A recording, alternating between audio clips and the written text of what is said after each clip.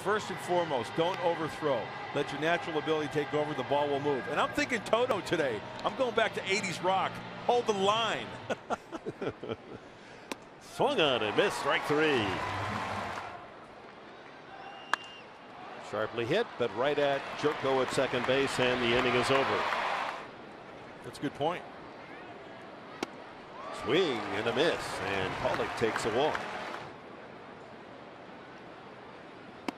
Struck him out.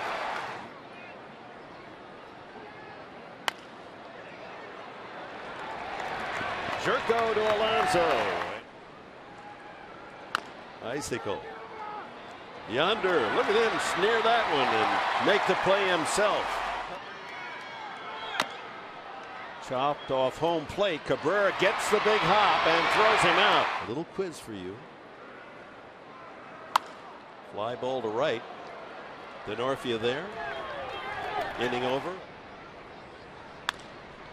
High fly ball right center field. Denorfia camped.